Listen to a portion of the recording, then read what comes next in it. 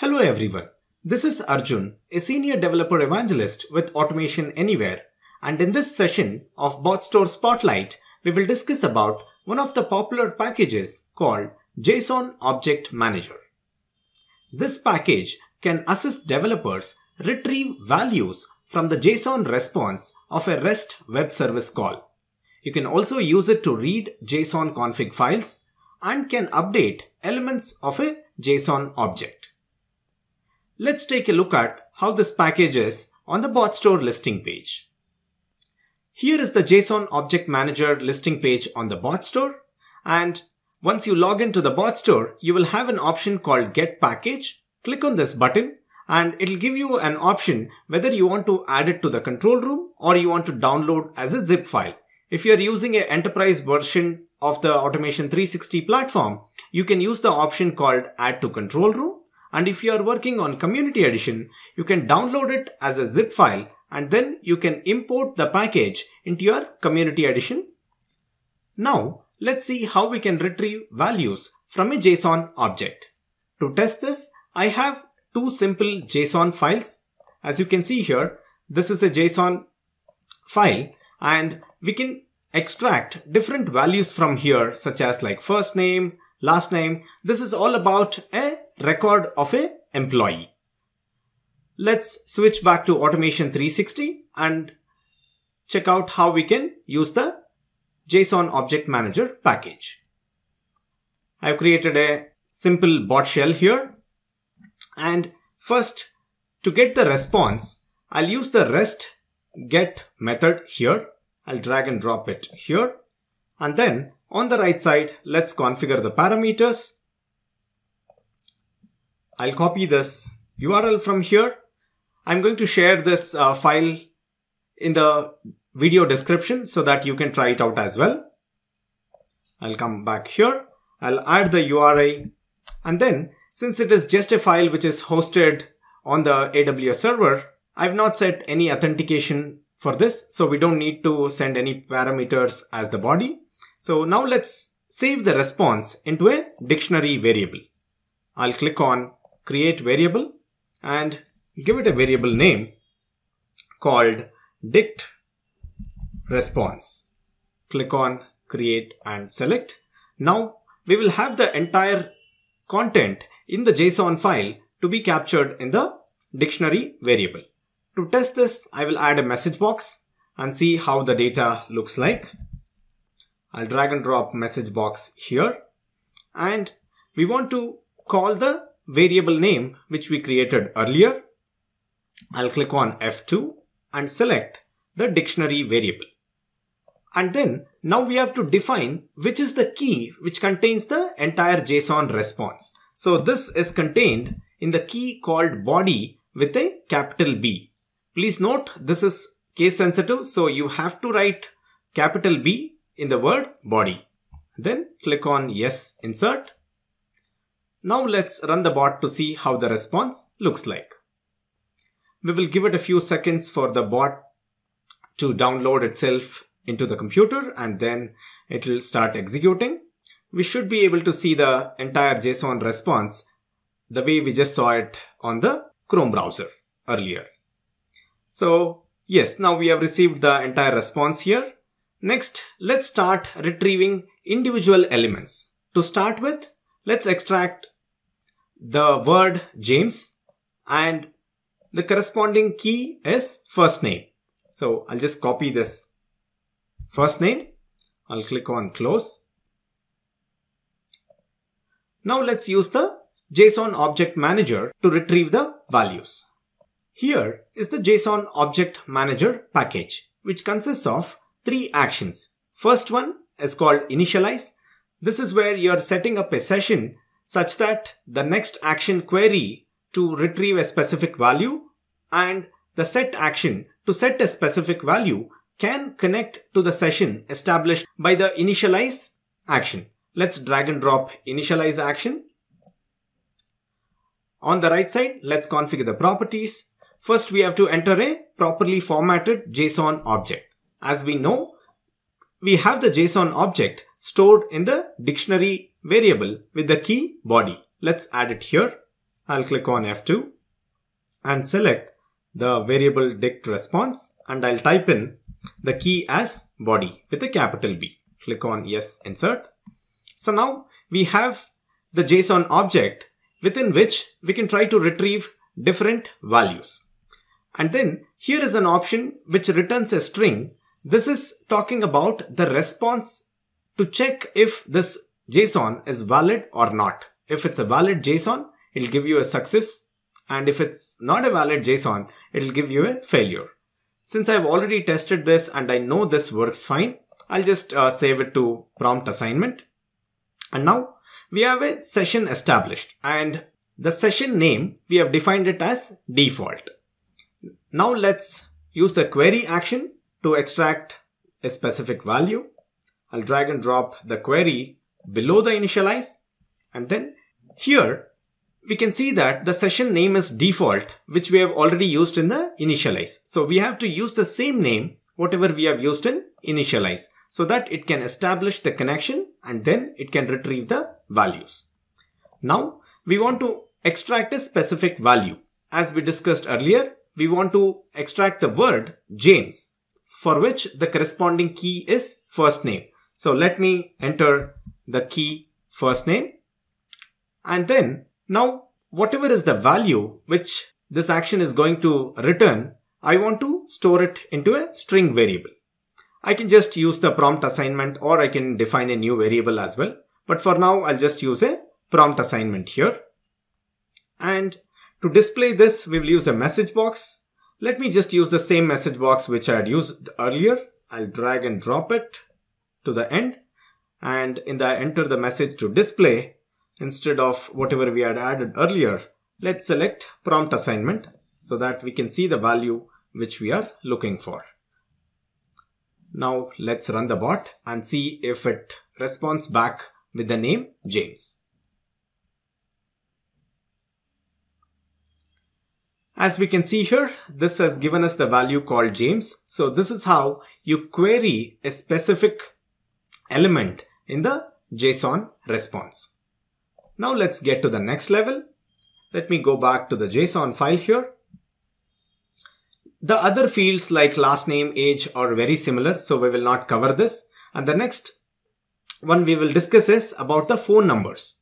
As you can see, this phone numbers is actually an JSON array and it contains multiple objects within it. So now, let's say we want to extract this first number for which the connected key is mobile. So to extract this value, first we have to refer to phone numbers and then since this is the first object within the array, this will have an index of 0. So I'll copy the phone numbers key here, go back to my bot, and then in the query, I'll replace the first name with phone numbers, and then I'll use square brackets and add the index as 0, and then place a dot. So this is the dot notation we are going to use, and then in the child object, we want to get the value which is corresponding to the key mobile. So I'm going to copy that mobile from here and then come back to my bot and enter it here. So now you can see this is the expression to extract that value which is corresponding to the key mobile. Let's run this bot and check the response we should be able to see that exact number which is all ones. As we can see, we have got the required response here. Now let's do one more simple test here. This is the first object within the array and this is the second object. So now if I want to extract this particular phone number, I will have to use the key home and also change the index to 1 because it's a 0 based index. The mobile was index 0 and the home is index 1. So let me copy this and then I come back here. Change the index from 0 to 1 and then instead of mobile, I'm just going to paste it as home. Now let's double check the value 1 here and then click on run. Okay, as you can see here, we have got the required response. And now, say for example, you want to get the length of the array. That means you want to see how many objects are there within this phone numbers array. In that case, let me show you the expression to extract the length of that array. We will use phone numbers dot length and then open and close parenthesis. Now when I run this bot, it should give me a value 2 as the response. Let's see what the bot comes up with. As you can see here, we have got the response as 2. So this is how you can get the length of the array and also query different elements within a JSON response. This was a simple example to showcase how you can extract values from a JSON. Now let's get into a complex use case. Let's take an example of a sentiment analysis response. So this is the response you will get when you pass a text to a API which does the sentiment analysis and then it sends you back the response as a JSON. So now let's see how we can parse this particular JSON and extract values based on our requirements. For example, if I just use this key called documents, then it's going to give me the entire JSON object as the response. Now let's see if we want to extract this value called positive, which is again within an array. So now if we want to extract this positive, we will have to first use the key documents and then since this is the first index, we will have to use the index 0 and then call the key sentiment. To start with, I'll copy the JSON file path here. Go back to my bot. I'll change the URI here from whatever I had added earlier. I'll replace it with what I need now. And then I'll go to the query and then I will switch back to the JSON here. Let's use this documents key. I'll place the documents key here. And then since I want to extract the first object within this array, I'm going to use square brackets and then add the index as zero. I'll use a dot symbol and then go back here. And then I want to extract the value corresponding to this sentiment key. I'll copy it here, come back and paste it here. Now, when I run this bot, I should be able to get the response as positive. Let's see what the bot comes up with. Okay, we are getting the correct response. Now let's get a little more deeper and try to extract the value here. For example, we want to extract the value 43 and the corresponding key is length. Let's traverse through the entire JSON object to see how we can get here. First we have to use documents and then within the array I'll use the index 0 and then I'll use sentences and then again this is another array so I'm going to use the index as 0 here and then I will use length. So let's start from here documents which we already have. So I'll leave that and then I'll copy the sentences here. Go back here Instead of the sentiment, now I'm going to place the sentences. And again, since this is an array and we are looking at the index 0, I'll add it within the square brackets, place a dot and then get to this key called length. Let's copy it here and I will add it here. Let's run the bot. We should be able to see the value 43. So now we have got the 43 here. Let's do one more test.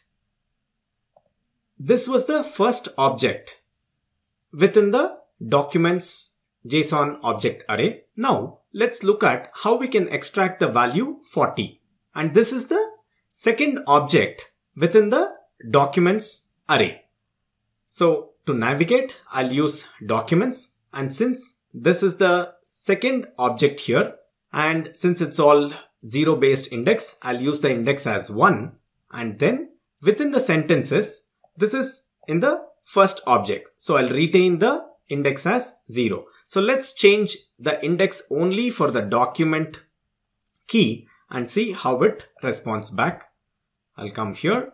I'll just change this value 0 to 1 for documents and I'll leave the sentences index as the same that is 0 and now when I run this bot I should be able to get the value 40 as the response. Okay, we got the response 40. Earlier we looked for a specific element in the index 0. Now we have looked at getting the value from index 1. So similarly, you can always use a loop to get, if you have a lot of values within the array, you can use the loop action to do that. So this is how you can query different elements within an JSON response. Now let's see how we can update a specific value in the JSON response. For that, I'm going to use this set action and I'll drag and drop it above the query. We just looked at how we can extract the value 40. So I'll use the same expression from here and then go to this set action. I'll paste the expression here. So this is the path to the JSON element which we want to update. So let's update the value which was 40 earlier and then we will add a new value as 50. And the next field is updated JSON element. This is just going to tell us if it was successfully updated and it will give you a specific transaction key or ID, whatever you would like to call it. So I'll just use the same prompt assignment for here. And now I have just updated the value of the key length from 40 to 50. And since we already have the query here, now when I run this bot, I should get the value as 50 instead of 40 which was there earlier. Let's run this bot and see if we are able to get that exact value as 50. Okay, we got the correct uh, message here with the value as 50. So this is how you can set a value and update a specific element in the JSON. To wrap up, this package simplifies interacting with JSON responses and you can continuously query a single JSON object to retrieve different values based on the multiple elements it contains within an array. And you can also modify the JSON elements as we have seen in the demo. And to add up, this is a very important package for the upcoming challenge in the next week. So please do practice this one so that you will have a much better speed and accuracy when you do the upcoming challenge in the next week. Thank you and go be great.